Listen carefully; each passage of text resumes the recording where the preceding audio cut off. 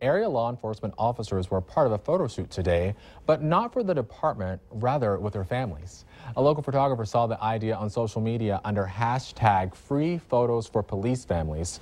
He donated his time this morning for anyone who wanted them, saying that a lot of families don't get pictures taken, and those who risk their lives need to have those memories. And the need is highlighted in our community. It's been six months since Officer Jason Moszer was shot and killed.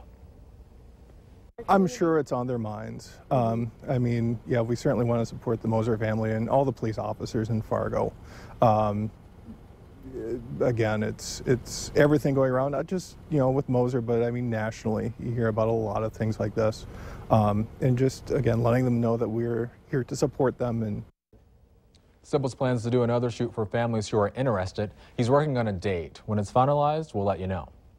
Later on Valley News Live at 6, what will it